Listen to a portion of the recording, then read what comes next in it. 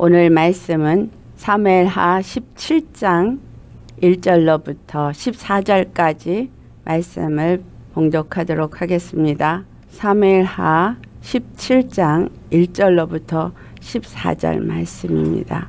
같이 봉독하시도록 하겠습니다. 아이도벨이 또 압살롬에게 이르되 이제 내가 사람만 2천 명을 택하게 하소서 오늘 밤에 내가 일어나서 다윗의 뒤를 추적하여 그가 고나고 힘이 빠졌을 때 기습하여 그를 무섭게 하면 그와 함께 있는 모든 백성이 도망하리니 내가 다윗 왕만 쳐 죽이고 모든 백성이 당신께 돌아오게 하리니 모든 사람이 돌아오기는 왕이 찾는 이 사람에게 달렸습니다. 그리 그리하면 모든 백성이 평안하리이다 하니 압살롬과 이스라엘 장로들이 다 그 말을 옳게 여기더라. 압살롬이 이르되 아렉 사람 후세도 부르라. 우리가 이제 그의 말도 듣자 하니라. 후세가 압살롬에게 이름에 압살롬이 그에게 말하여 이르되 아히도벨이 이러이러하게 말하니 우리가 그 말대로 행하랴. 그렇지 아니하거든 너는 말하랴 하니 후세가 압살롬에게 이르되 이번에는 아히도벨이 베푼 계략이 좋지 아니하니 아니이다 하고 또 후세가 말하되 왕도 아시거니와 왕의 아버지와 그의 추종자들은 용사라 그들은 들에 있는 곰이 새끼를 빼앗긴 것 같이 격분하였고 왕의 부치는 전쟁에 익숙한 사람인 즉 백성과 함께 자지 아니하고 지금 그가 어느 굴에나 어느 곳에 숨어 있으리니 혹 우리 중에 몇이 먼저 엎드러지면 그 소문을 듣는 자가 말하기를 압살롬을 따르는 자 가운데에서 패함을 당하였다 할지라. 비록 그가 사자 같은 마음을 가진 용사의 아들일지라도 낙심하리니 이는 이스라엘 무리가 왕의 아버지는 영웅이요 그의 추종자들도 용사인 줄 알미니라. 나는 이렇게 계략을 세웠나이다. 온 이스라엘을 담부터 브레세바까지 바닷가에 많은 모래같이 당신께로 모으고 친히 전장에 나가시고 우리가 그 만날 만한 곳에서 그를 기습하기를 이스리 땅에 내림같이 우리가 그의 위에 덮여 그와 그 함께 함께 있는 모든 사람을 하나도 남겨두지 아니할 것이요. 또 만일 그가 어느 성에 들었으면 온 이스라엘이 밧줄을 가져다가 그 성을 강으로 끌어들여서 그곳에 작은 돌 하나도 보이지 아니하게 할 것이니라 하매 압살롬과 온 이스라엘 사람들이 이름에 아렉 사람 후세의 계략은 아이도벨의 계략보다 낫다 하니 이는 여호와께서 압살롬에게 화를 내리려 하사 아이도벨의 좋은 계략을 물리치라고 명령하셨음 말씀이더라. 아멘. 오늘 말씀은 아히도벨의 계략과 후세의 계략의 경합과 같은 말씀이죠. 여기서 우리가 생각하는 것은 여호와께서 누구와 함께 하시느냐라는 거예요. 이것은 우리가 누구와 함께 하느냐 그것을 또한 묻는 것과 같습니다. 아이도벨이 압살롬에게 요구를 합니다. 내게 사람만 2천 명을 택하게 하사 그리고 오늘 밤에 내가 일어나서 다윗의 뒤를 추적하리다. 그가 고온하게 힘이 빠졌을 때에 그를 기습을 하여서 다윗 왕을 쳐 죽이겠다. 다른 모든 백성들은 도망을 할 것이고 다윗 왕만 죽이면 된다라는 계략을 내어놓습니다. 아이도벨이 다윗의 뒤를 추적하여서 그를 죽일 계략을 내어놓으면서 군사 만 2천 명을 요구한 것은 시간이 지체되기 전에 다시 말하면 다윗이 충분히 도망을 하고 충분히 모든 것을 잘 갖추어서 전쟁을 준비할 수 있는 그 시간이 주어지기 전에 그가 지금 쫓기면서 피곤하이는 이때에 그를 쳐야 된다는 계략입니다. 그리고 두 번째로는 다윗 왕 하나만 죽이면 모든 나머지 사람들은 압살롬에게 돌아와서 그의 백성과 군사가 될 것이라는 것이 아이도벨의 계략입니다.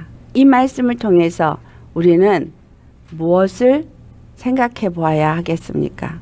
우리에게 누가 왕이 되십니까?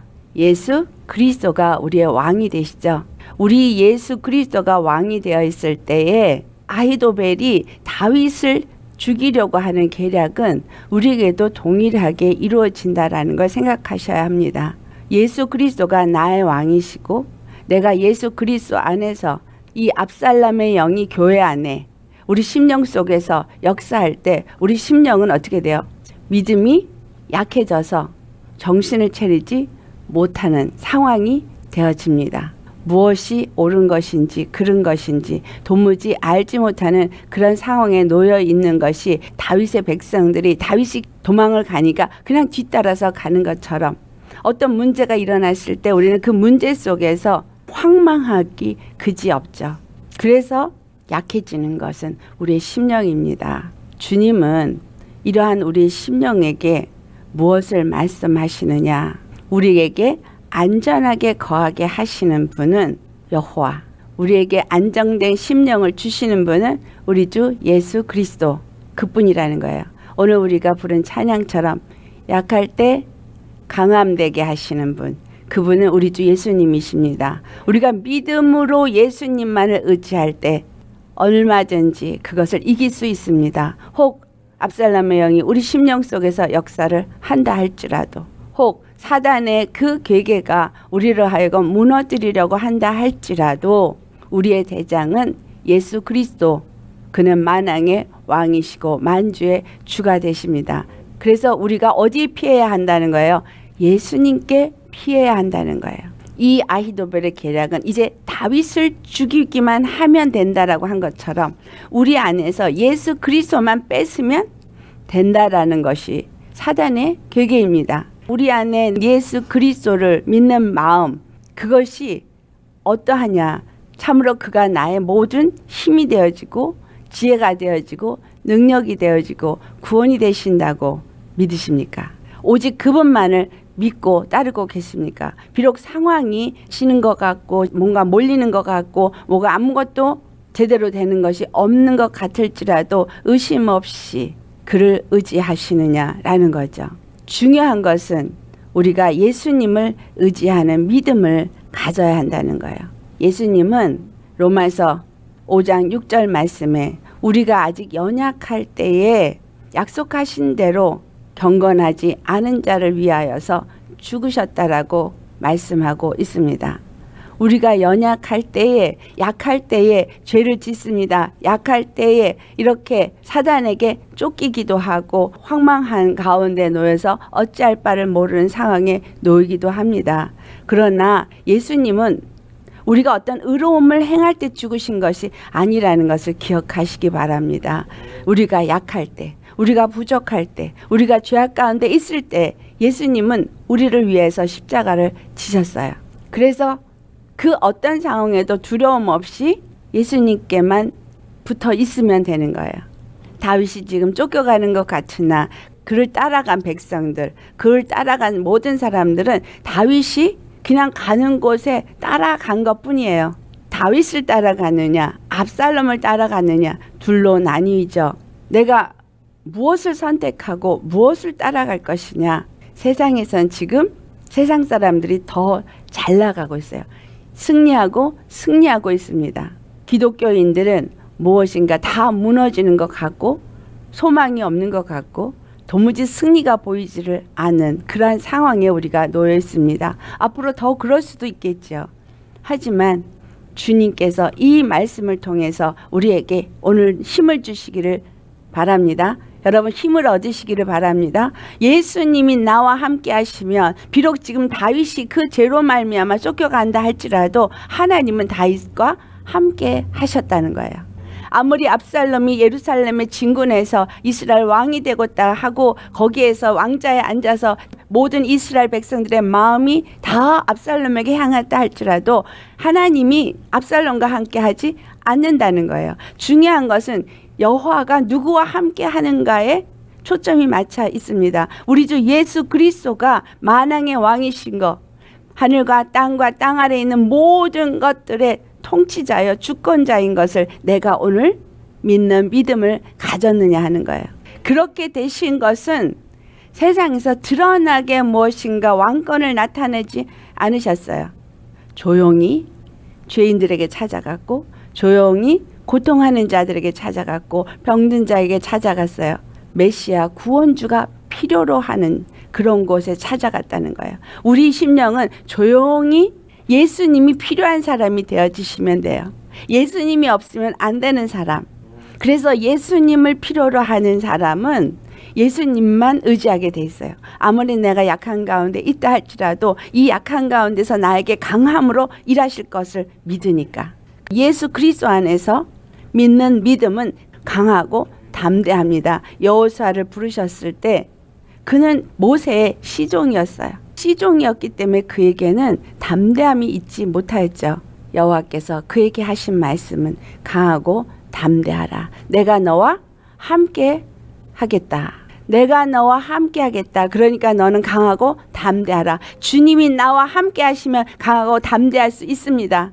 아히도벨이 이렇게 다윗을 죽이고자 하는 계획을 할다 할지라도 여호와는 다윗과 함께 하심으로 아히도벨이 아무리 계략을 내어 놓아도 그것이 성공하지 못하게 했다라는 거예요. 아담 한 사람이 죄를 지었을 때 죄가 세상에 들어오고 죄로 말미암아 모든 사람들이 다 사망에 이르게 되었습니다. 모든 사람이 죽을 수밖에 없고 그래서 그들에게 하나님이 주신 것은 율법이에요. 근데 율법은 우리에게 죄가 더 죄가 되게 하는 그런 법인 거예요. 죄가 더 죄가 될 것 같이 그렇게 생각하게 하는 이유 그것은 사람으로서는 그 죄를 해결할 수 없고 오직 그 죄를 해결할 대속제물이 필요하다는 것을 사람들에게 알게 하기 위함이라는 거예요. 나의 죄가 더욱더 죄가 되게 드러내시는 것은 나에게 죄에서 구원하실 구원주가 필요하고 그래서 예수 그리스도를 더욱더 구하고 찾는 자가 되라고 죄를 더 드러내게 하시는 겁니다. 죄를 깨닫고 또 깨닫고 또 깨달을 때 어떤 일이 일어나게 하려는 거예요. 로마서 5장 17절을 찾아보시겠습니다. 아담 한 사람으로 말미암아 죄가 세상에 들어왔어요. 그래서 모든 사람은 사망에 이르렀습니다. 하지만 로마서 5장 17절 같이 봉독합니다. 한 사람의 범죄로 말미암아 사망이 그 한 사람을 통하여 왕노릇 하였은즉 더욱 은혜와 의의 선물을 넘치게 받는 자들은 한 분 예수 그리스도를 통하여 생명 안에서 왕노릇 하리로다. 다윗 한 사람이 범죄함으로 인해서 그를 따라가는 모든 사람들이 다 괜히 압살롬의 칼을 피하여서 도망하는 신세가 되었고 유리 방황하는 신세가 되었습니다.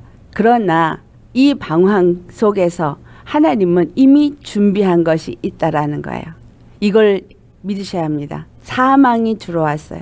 아담 때문에. 그래서 모든 사람이 사망에 이르고 저주 가운데 놓여 있습니다. 그러나 주님은 이미 계획하신 것이 거기서부터 우리를 건져 내시고자 예수 그리스도를 준비하셨다는 거예요. 그것이 은혜로 우리에게 주어질 수 있게 하는 것은 우리는 도무지 해결할 수 없는 죄인 중에 죄인이기 때문입니다. 죄가 더 죄가 되어져서 그 죄가 드러날수록 우리가 정말 죽을 수밖에 없는 자구나 라는 것을 처절하게 느낍니다. 그럴 때 예수 그리스도가 정말 너무나 귀한 값진 은혜가 되어질 수 있겠죠. 그래서 예수님의 은혜를 우리가 더 알아갈 때에 어떤 자가 되어지는 거예요? 한 번 예수 그리스도를 통해서 내 안에서 생명이 왕 노릇을 하게 되어지는 거예요. 은혜를 아는 자들이 생명의 왕 노릇을 할 수 있는 거예요. 십자가에 더 가까이 나아가서 정말 내가 죄인이라고 고백하는 사람. 내가 정말 죄인이다. 죽을 수밖에 없겠구나. 그래서 나는 예수님을 떠나서는 살 수 없겠구나. 라고 생각하는 사람. 그가 바로 예수 그리스도 안에서 그 은혜를 입은 자가 되어진다라는 거예요. 우리 로마서 7장 찾아서 보겠습니다. 로마서 7장 11절에서 13절 말씀. 로마서 7장 11절에서 13절 말씀 시 봉독하겠습니다. 제가 기회를 다해서 계명으로 말미암아 나를 속이고 그것으로 나를 죽였는지라 이로 보건대 율법은 거룩하고 계명도 거룩하고 의로우며 선하도다. 그런즉 선한 것이 내게 사망이 되었느냐 그럴 수 없느니라 오직 죄가 죄로 드러나기 위하여 선한 그것으로 말미암아 나를 죽게 만들었으니 이는 계명으로 말미암아 죄로 심히 죄되 되게 하려 함이라. 아멘. 그래서 죄로 심히 죄되게 하여 주신 그 분이 이제 준비하신 것은 은혜가 심히 은혜가 되게 하려는 것이라는 거예요. 자, 다윗이 쫓겨가게 되어진 그 죄로 말미암아 쫓겨가는 일을 이룬 것은 이스라엘에게 무엇을 가르쳐 주기 위함인 거예요. 자기네들의 의로 어떤 나라를 세우고 왕권을 세우겠다고 한다 할지라도 여호와께서 함께하지 아니하시면 그 모든 것은 결단코 이루어질 수 없다는 거죠. 시편 127편에도 말씀하고 있죠. 우리가 아무리 아침에 일찍 일어나고 밤에 늦게 자고 무엇을 하려고 해도 집을 세우고자 하여도 그 모든 것이 여호와께서 함께하고 허락하지 아니하시면 다 헛되고 헛된 것입니다. 주님이 나와 함께 하느냐 함께 하지 않느냐 그것이 중요하다는 거예요. 그러므로 로마서 6장 12절로부터 13절 말씀 무슨 말씀이에요? 죄가 우리 몸을 지배하지 못하게 하라. 우리가 만약에 우리의 자신을 우리의 사욕을 따라서 순종하고 우리의 지체를 불의에 내어주면 불의의 병기가 되어지지만 우리를 의에게 내어주면 의의 병기가 되어진다라는 거예요. 우리는 소속을 분명하게 하라는 거예요. 아이도벨이 아무리 계략을 가지고 다윗이 지금 피곤하니까 가서 죽이겠다 할지라도 여호와께서 다윗을 그들에게 내어주지 않기 때문에 결단코 그들은 다윗을 진멸할 수가 없습니다. 아멘. 우리가 예수님의 손 안에 있으면 누구도 우리를 빼앗아 갈 자가 없습니다. 주님이 우리를 지켜주시니까. 중요한 건 나는 누구를 택해서 누구 안에 거하는 믿음을 갖느냐. 이게 중요하단 말이에요. 어떤 순간에 있어도 예수 그리스도 십자가만이 나에게 구원의 길이고 예수 그리스도를 믿고 가면 주님이 반드시 거기서 나를 건져 주신다는 믿음만 있으면 지금 보여지는 상황은 아니라 할지라도 반드시 주님은 그 이름의 영광을 위해서 일하신다라는 거죠. 다와 함께 하면서 이 모든 일을 하신 하나님은 바로 십자가에서 죽으시면서 로마서 5장 8절에 있는 것처럼 우리를 향한 당신의 사랑을 확증해 주셨어요. 십자가를 볼 때 여러분은 뭘 생각하셔야 되냐? 하나님이 날 향한 사랑을 보셔야 해요. 나를 구원하시기 위해서 나를 모든 것에서부터 이기게 하시고 하나님이 가지신 그것을 내게 주기 위해서 십자가를 지셨다는 것. 그 사랑이 보여지셔야 합니다. 우리는 보잘것없는 질그릇이에요. 던져버리면 깨져버릴 것 같고 도무지 아름다울 것이 없는 자입니다. 그런데 주님이 우리를 어떻게 만드셔요? 아름다운 보배합으로 만들길 원하시고 우리를 아름답게 보시고 아름답게 여기시는데 중요한 건 그 보배합은 비어져야 한다는 거예요. 주님의 것으로 채우도록 육의 것은 비어져야 합니다. 예수님께 속한 믿음으로 예수님과 함께 할 때에 모든 이 세상의 사람들이 이긴 것 같으나 그들의 모략을 하나님이 다 패하시고 결국은 하나님이 뜻대로 그 일을 이루어 가시는 분이시다라는 거죠. 3절에 아히도벨이 다윗을 죽이고 나면 모든 백성이 당신에게 돌아오게 될 것이라. 그리고 모든 사람이 돌아오기는 왕이 차는 이 사람에게 달렸다. 그리하면 모든 백성이 평안하리다. 다윗을 죽이고 나면 백성이 다 돌아오게 되는데 바로 내가 그 일을 하겠다. 세상에서 나에게 평안을 줄 수 있다고 말하는 얻고자 하는 것을 얻을 수 있다고 말하는 것이 지금 아이도벨이 압살롬에게 하는 말입니다. 우리에게 모든 것을 줄 수 있다. 모든 것이 잘 되고 있구나. 그것이 데살로니가 전서 5장 3절에 어떻게 표현하고 있어요? 저희가 평안하다, 평안하다. 모든 것이 잘 되고 있다. 할 때에 호련히 여자가 해산의 고통에 이르는 것처럼 예수님께서 이 땅에 역사하신다는 거예요. 나타나신다는 거예요. 양과 염소를 가르시고 빛과 어둠을 나누시는 역사가 일어날 때 그들은 결단코 피하지 못한다 그랬어요. 이 땅에 살면서 우리가 해야 할 일은 우리는 절대로 예수 그리스도 안에 속해야 한다는 거. 그리고 예수 그리스도가 바로 나의 피할 바위가 되어지셔서 그분 안에 피하면 그 가는 길이 어떤 모양으로 나타나든 주님은 반드시 우리를 구원하십니다. 압살롬과 이스라엘 사람들의 장로들이 참 좋구나라고 하는 그때에 하나님은 압살롬과 그들의 말이 좋다고 생각할 때 어 그래라라고 하게 했느냐라는 거예요. 아니에요. 좋다고 생각은 했어도 그렇게 하지 않았어요. 압살롬과 그 이스라엘 장로들이 좋게 여기시다 할지라도 하나님은 그들의 계획이 성취되지 않게 하셨어요. 사무엘하 15장 31절에 다윗이 기도를 한 게 있잖아요. 아히도벨이 압살롬과 함께 한다고 했을 때 아히도벨이 이러한 모략을 내어놓는 모사인 것을 다윗이 잘 알기 때문에 다윗은 여호와 하나님 앞에 기도를 했습니다. 여호와여 원하건대 아히도벨의 모략을 어리석게 하옵소서. 그러니까 그가 아무리 좋은 계략을 내어놓아도 여호와는 다윗의 목소리를 들으셨기 때문에 그것이 이루어지지 못하게 한다라는 거예요. 그래서 압살롬이 그 말을 듣고서 아 좋게 여겼지만 후세도 있지 않냐 우리가 그러니까 그 후세를 좀 불러와라 그의 말도 듣자라고 압살롬의 마음을 주님께서 후세의 말을 듣게 합니다. 사람의 마음을 움직이시는 분은 여호와이십니다. 사람의 생각을 움직이시는 분도 여호와이십니다. 사람의 마음을 강팍하게 할 수도 있고 부드럽게 할 수도 있어요. 애굽에서 나오게 될 때 바로 나와도 될 것을 바로를 강팍하게 해서 열 가지 재앙을 다 치를 때까지 바로가 용납하지 않았어요. 허락하지 않았어요. 그것은 여호와께서 그 마음을 강팍하게 했기 때문입니다. 그 이유가 무엇이냐 하면 바로 이스라엘과 애굽의 차이가 무엇인지를 알게 하기 위함이라는 거예요.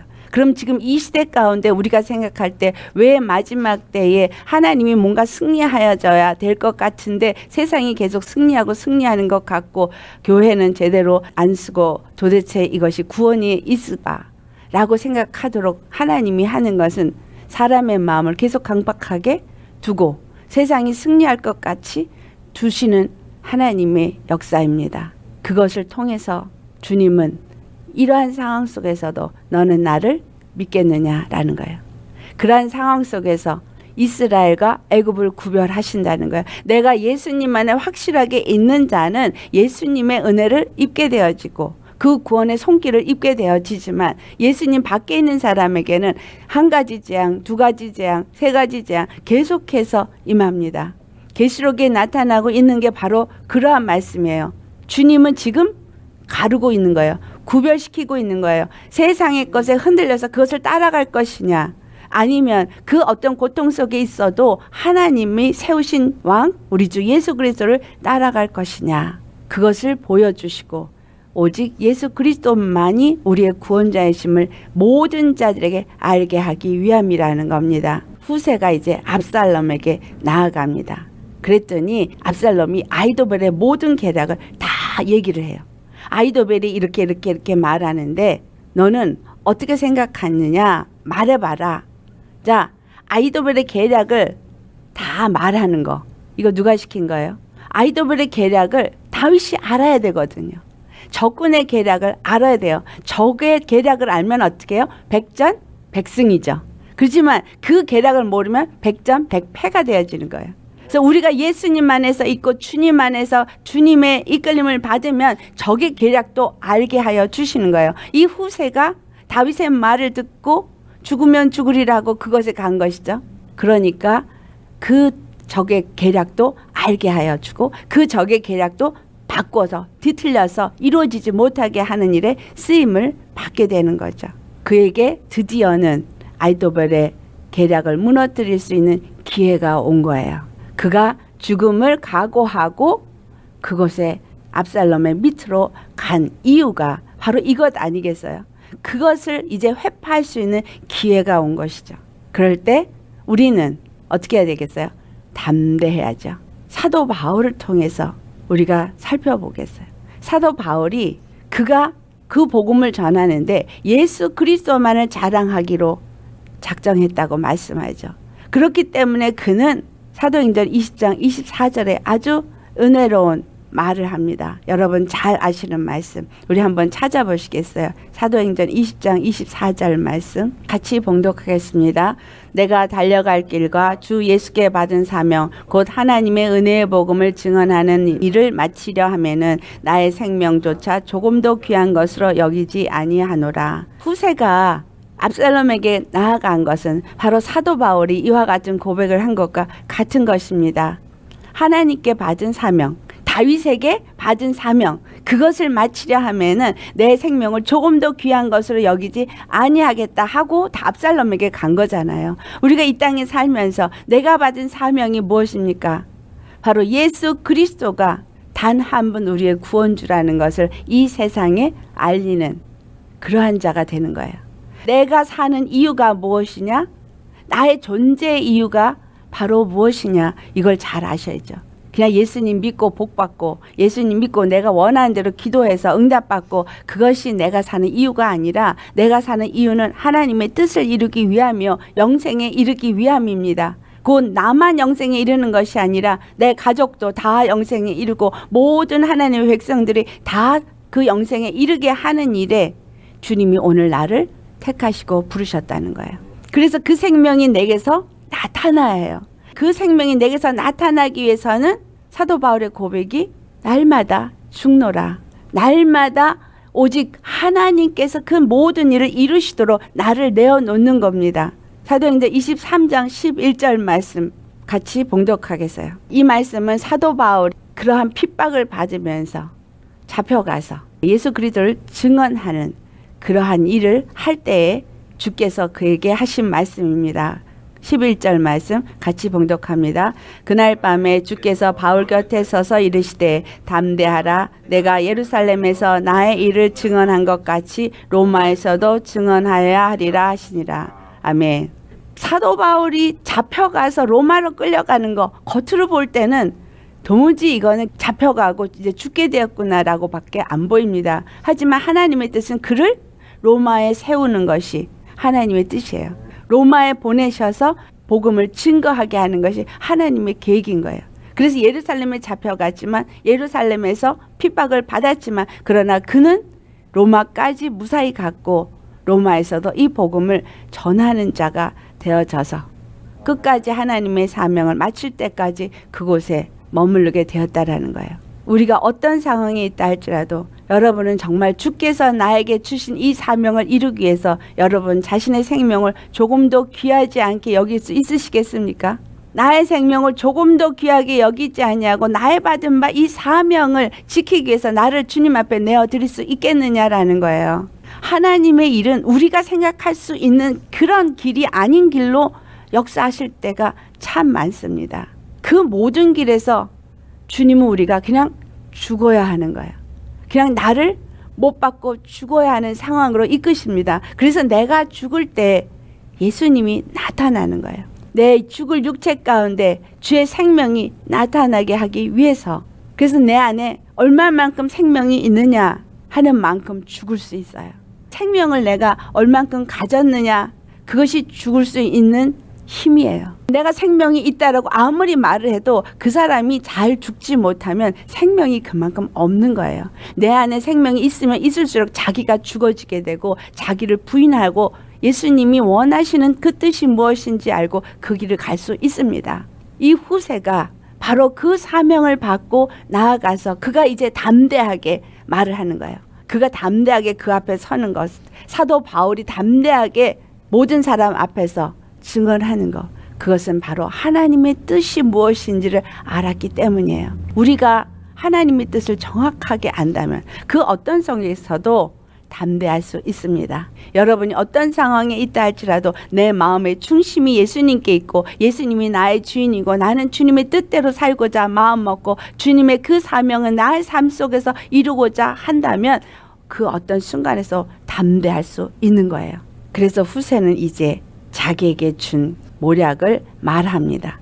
후세가 말한 모략을 살펴보면서 다윗은 그때 나이가 많았고요. 힘도 없었고 아주 피곤해요.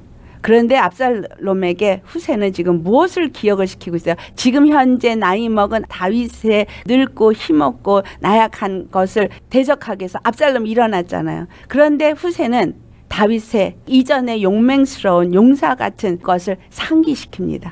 다윗이 얼마만큼 용맹스러운 용사인지 또한 그의 수하에 있는 용사들이 얼마나 강한 용사인지 그것을 상기시켜요.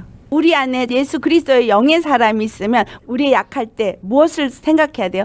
우리 주님이 얼마나 강하신지, 우리 주님이 어떤 승리자이신지, 내가 약할 때에도 강함이 될 수 있고, 내가 미련한 가운데서도 지혜로운 자가 되어질 수 있도록 우리에게 그 모든 걸 주시는 분은 예수님이십니다. 그거를 상기시켜요. 왜 이걸 상기시켜요? 압살롬이 그렇구나. 다윗이 약하고 정치를 잘못해서 이제 내가 일어나서 왕이 되겠다고 했는데 그러고 보니 우리 아버지가 그런 용맹스러운 자였었어. 사울은 천천히요. 다윗은 만만이라고 할 만큼. 그리고 이 모든 이웃의 나라들을 다 조공을 바치게끔 평정을 했고 그런 하나님이 함께하는 왕이었다라는 걸 기억을 시켰어요. 그리고 그의 수하들도 얼마나 용맹스러운 자인지 자기는 자기 아들이 이미 다윗의 용사이기 때문에 잘 알고 있습니다. 그것을 상기시키는 거예요.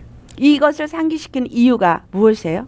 지금 바로 가서 치면 진다는 거. 그래서 시간을 버는 거예요. 이렇게 되려면 더 많은 군사를 모집을 해서 가서 싸워야 이길 수 있다라고 지혜를 내는 거예요. 그러면 그만큼 사람의 군사들을 모아고 그 군인들을 전쟁에 내보내게 하려면 시간이 필요하죠. 자, 이 시간을 주면서 후세의 마음 뭐예요? 다윗이 충분히 피해서 요단강을 건너가서 도망가서 잘 피신할 수 있도록 그리고 이 모든 소식이 다 그에게 전해져서 그가 전쟁을 치를 준비를 잘 할 수 있도록 누구에게 기회를 주는 거예요? 다윗에게 기회를 주고자 하는 것이라는 거예요. 우리가 주님 안에서 그렇게 예수님이 나의 주다고 생각하면 어떻게 되겠어요? 주님 앞에 기도하겠죠. 예수님 앞에 기도합니다. 예수님의 이름을 부릅니다. 주님이 모든 일을 하시도록 주님께 맡기고 그러다 보면 나 안에 있던 두려움, 내 안에 있던 연약함, 내 안에 있던 뭔가 위축되어짐 이런 것들이 하나하나 사라지고 주께서 나와 함께 하시는 내 안에서 뭐가 일어나요? 생명이 일어나죠. 힘이 생기는 거예요. 두려움이 없어지고 담대함이 생깁니다. 그러면 예수의 이름의 영원히 떠나가! 물리칠 수 있게 되는 거죠. 내가 나의 약함 속에서 쭈그러져 있을 때는 점점 뭔가 뭐만 생각나요? 두려움만 떠올라요. 자신 없어요. 할 수 없어. 어떻게 하지? 하는 위축됨. 그럴수록 사단은 더 강해져요. 그래서 우리 안에서 내가 이렇게 쭈그러들고 자신이 없을 때 뭘 생각해야 돼요? 우리 주 예수 그리스도는 용맹스러운 하나님. 내가 이렇게 약하고 이렇게 부족할지라도 예수님은 나의 힘, 나의 능력, 나의 도움, 그분은 나의 지혜. 그래서 나는 그분께 의지하면 된다. 그리고 예수님께 찾고 구하는 자가 되어져야 하는 거예요. 압살롬에게 다윗을 인식시키면서 두려움을 준 거예요. 우리 안에 예수님을 자꾸 인식을 시키면 어떤 게 일어나요? 사단 내 안에 역사하던 그 어둠의 영이 두려워서 꼼짝도 못하게 됩니다. 전쟁은 우리 안에 있죠. 우리가 예수님의 생각을 하고 예수님으로 어깨를 피시면 상대적으로 내 안에 있던 어두움은 두려워 떨게 되어지는 거예요. 주님의 힘과 주님의 능력을 의지하면서 여러분 전쟁에 임하시겠습니까? 그리고 또 하나 친히 왕이 나가셔야 합니다. 압살롬이 친히 전쟁에 나가면 어떻게 돼요? 압살롬이 죽게 되어지는 거를 계획한 거예요. 압살롬이 죽어야 압살롬이 세운 반란의 정권은 무너질 수 있기 때문에 그래서 시간을 벌고 전쟁에 나가게 하지만 이 압살롬은 다윗의 계략을 전혀 알지 못해요. 하지만 지금 이제 후세가 다윗에게 그 모든 압살롬의 계략을 다 알게 해서 한쪽은 계략을 알고 한쪽은 계략을 모르니 누가 이기겠어요? 당연히 적의 계략을 아는 자가 이기게 되어 있죠. 또한 여호와께서 다윗과 함께하니 당연히 이기겠죠. 그럴 때 이제 왕이 나아가서 전쟁에 죽으면 이 정권은 한순간에 모래와 같이 무너지게 되어지기 때문에 모래의 산과 같이 무너지기 때문입니다. 우리 심령에 찾아온 도둑 이 도둑을 어떻게 막을 수 있다고 주님이 말씀하세요. 우리 안에 찾아온 도둑은 항상 준비되어져 있는 심령은 그 도둑이 들어오는 것을 알 수 있어요. 그리고 강한 자가 결박한다고 예수님 말씀하셨죠. 도둑이 들어와도 내가 늘 준비되어 있으면 주님의 강함으로 내가 준비되어져 있으니까 그 모든 것을 능히 내어 쫓고 결박하고 승리할 수 있습니다. 내 안에 역사하고 있는 악한 영의 역사 그런 것들이 일어날 때 두려워요. 그리고 그 두려움이 내 안에 엄습을 할 때 사망이 두려워집니다. 그러나 예수 그리스도가 그 사망을 침범하지 못하도록 십자가 그것을 붙잡는 그 순간에 십자가의 능력이 모든 것을 내어 쫄 수 있는 담대함이 생기죠. 그래서 예수의 이름으로 명하노니 이 더러운 영들아 너희는 결박을 받을지어다 힘은 상실될지어다 그리고 떠나갈지어다 명령할 때 그냥 떠나갈. 예수의 이름으로 쫓는다고 그냥 떠나가는 게 아니라 내 안에 그 십자가가 능력이 되어진 믿음이 확고하게 설 때 그 예수의 이름의 권세가 바로 나에게 있음을 믿음으로 내 안에 갖게 되어질 때 그럴 때 내어 쫓으면 그들은 힘이 상실되어져서 조용히 떠나가는 거예요. 무엇이 중요합니까? 믿음이 중요한 거예요. 믿음이. 이 믿음을 우리가 갖고 나아가도록 시간을 주는 것이 내 믿음의 시작인 거예요. 그리고 그 시작이 예수님이 이기셨다라는 걸 나한테 상기시키고 예수님이 바로 모든 것을 이기는 분이라는 걸 상기시키는 거. 요한일서 4장 4절이죠. 우리 안에 계신 이가 누구라는 걸 기억을 시키는 거예요. 예수님. 예수님이 이기신 자라는 걸 기억을 시키는 거예요. 예수님은 승리자라는 거. 여러분이 약할 때, 내가 뭔가 좌절되는 일이 있을 때, 부족하는 문제가 또 생겨서 그럴 때 뭘 기억해야 돼요? 예수님이 내 안에 계시다는 거. 예수님이 나를 사랑한다는 거. 그 사랑을 십자가에서 확증시켜 주셨다는 거. 그리고 그 사랑이 이기셨다는 거. 그거를 기억하면서 주님 앞에 내 마음을 내어놓고 주님을 구한다면 두려움은 어느 순간에 위축됨은 어느 순간에 사라지고 없어지는 거예요. 굳이 예수의 이름으로 떠나가 소리 안 해도 걔네들은 그냥 떠나가요. 내 안에 믿음의 그 말씀을 붙잡고 나아갈 때 그 일은 일어나게 되어져 있습니다. 여호와께서 후세와 함께 하시니 여호와께서 압살롬의 모든 계략을 다 제거하고자 계획을 하셨으니 사람들이 다 어떻게 돼요? 아 후세의 계략이 아이도벨의 계략보다 더 낫다라고 그 마음들이 다 이거를 원하게끔 하는 거예요. 주님은 이걸 통해서 결국은 아이도벨과 압살롬을 다 무너뜨리고자 하신 것입니다. 이 말씀이 우리에게 주시는 거. 하나님이 함께 하시면 우리는 이긴다.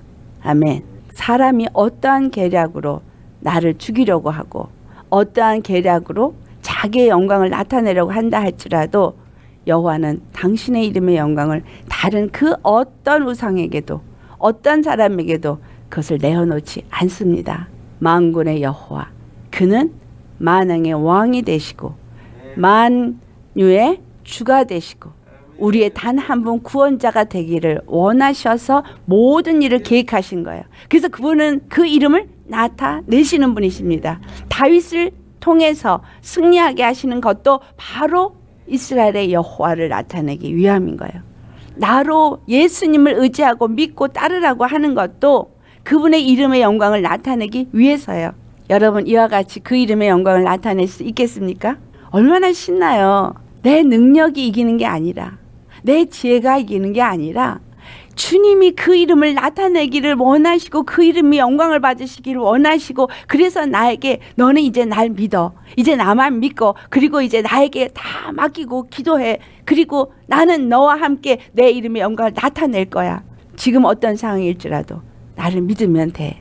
다윗을 따라간 모든 백성이 다윗이 하는 대로 회개할 땐 자기네들도 같이 회개하고 다윗이 쉴 땐 자기도 쉬고 다윗이 전쟁으로 셋업을 할 때는 자기네들도 전쟁으로 준비를 하고 우리는 예수님이 시키는 대로 그냥 믿고 행하면 되는 거예요. 편해요, 안 편해요? 쉬워요, 안 쉬워요?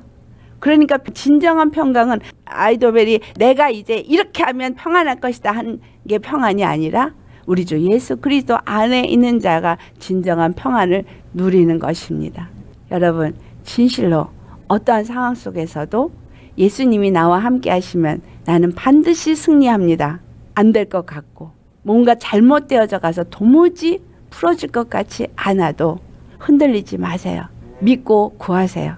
그리고 예수님은 승리자인 것을 자꾸 여러분 스스로에게 remind를 시키세요. 자꾸 각인을 시키세요. 예수님은 나의 승리자. 예수님은 만왕의 왕. 그분은 당신의 이름을 위해서 일하시는 분, 그 이름의 영광을 다른 그 누구에게도 주지 않으시는 분. 그래서 나는 그 예수님만 믿으리라. 그 예수님만 의지하리라. 그러면 우리는 그 영광을 보게 될 것입니다. 그 영광 우리 모두 같이 보시기를 예수님으로 축원합니다. 의심하지 말고 좌절하지 말고 낙심하지 말고 오직 믿음으로 예수님이 하시니까 반드시 하실 거니까 반드시 그림의 영광을 주여 나타내시옵소서. 아멘. 다윗이 고백한 거 아히도벨의 그 모략을 그 계략을 어리석게 하옵소서. 다윗은 그 기도 하나 하고 그냥 주님께 맡겼어요. 우리도 주여 저들의 계략을 어리석게 하옵소서. 여러분이 누군가와 같이 맞서서 싸워야 될 일 있으면 그렇게 기도하면 돼요. 내가 예수님을 온전히 주로 모시고 있고 예수님이 나의 주가 되어져서 나는 예수님만 확실하게 믿는다면 그와 같이 한마디 던져도 주님이 일하셔요. 저들의 계략을 어리석게 하시고 하나님의 영광을 나타내시옵소서. 나의 삶 가운데 나타내시옵소서. 나의 모든 걸음 가운데 나타내시옵소서. 중요한 건 내가 잘 믿고 예수님만 의지하고 위축되지도 흔들리지도 않고 믿음으로 나아간다면 예수님께서 다 그 일을 이루십니다. 모든 것에서 그 이름의 영광을 위해서 일하시는 분. 그래서 나는 주여 죽습니다. 나는 맡깁니다. 주님이 하라고 하시는 대로 순정하며 나아가겠습니다. 흔들리지 아니하는 믿음 주여 주옵소서. 기도하시겠습니다. 할렐루야 거룩하신 아버지 아이도벨이 계략을 내고 다윗을 진멸하고 그 백성들을 다 압살롬의 수하로 만들고자 하는 좋은 계략을 내었으나 하나님이 그 모든 계략을 파괴하시고 그것보다 후세의 계략이 더 좋게 느끼면서 압살롬이 후세의 계략을 따라가게 한 것처럼 아버지 참으로 여호와께서 다윗과 함께 하시오매 압살롬과 아히멜렉을 어리석게 한 것처럼 우리가 이것을 통해서 예수님만을 믿고 예수님만에만 거한다면 예수님은 모든 권세 위에 뛰어난 권세자이시며 승리자이시기 때문에 세상에 어떤 것도 우리 주 예수님을 대적할 자가 없음을 기억하게 하옵소서. 이것을 기억하고 예수님만 믿고 의지할 수 있는 믿음을 우리가 가진 자가 되게 하여 주시옵소서. 어떠한 상황에 있다 할지라도 그것이 보기에는 참으로 비천한 자리에 있다 할지라도 예수님만을 믿고 의지하며 주께서 반드시 주님의 영광을 나타내실 그 구원을 의지하며 주님께 맡기고 나아가는 우리가 되게 하옵시고 반드시 그 영광을 우리의 믿음이 볼 수 있게 하여 주옵소서. 후세가 참으로 죽음은 죽으리라 자기가 받은 사명을 귀하게 여기고 압살롬의 밑으로 들어간 것처럼 사도 바울이 그 사명을 받은 것에 귀하게 여기고 자기 생명을 조금도 귀하게 여기지 아니한다고 고백한 것처럼 아버지 우리가 예수 그리스도를 아는 믿음이 더욱더 견고해져서 우리가 받은 사명이 이 땅 가운데서 또 이루어지기 위해서 세상 가운데 고통 가운데 어려움 가운데 있다 할지라도 그 일을 이루기 위해서 담대하게 나아갈 수 있게 하여 주시옵시고 아버지께서 기회를 주실 때에 그 기회가 아버지께서 주신 기회로 알고 주의 복음을 전할 수 있대 담대하게 전할 수 있는 자 되게 하여 주시옵소서. 참으로 세상에 악한 영들과의 괴계를 만날 때 하나님의 주신 지혜와 능력으로 영혼들을 건져내고 구원해서 하나님의 나라를 세워갈 수 있는 후세와 같은 믿음으로 나아가고 바울과 같은 믿음으로 나아가는 우리가 되게 하여 주시옵소서. 그래서 아버지께서 이루고자 하시는 대로 그 뜻을 우리의 삶 가운데 이루시고 우리는 참으로 하나님이 함께하는 믿음의 모든 걸음걸음이 되어지도록 경과 믿음을 주시옵시고 축복하여 주옵소서 우리와 함께 하시고 그 영광의 이름을 나타내기 위해서 우리에게 예수의 이름을 주신 주님의 이름 받들어 감사하며 예수님의 이름으로 기도드리옵나이다. 아멘. 할렐루야.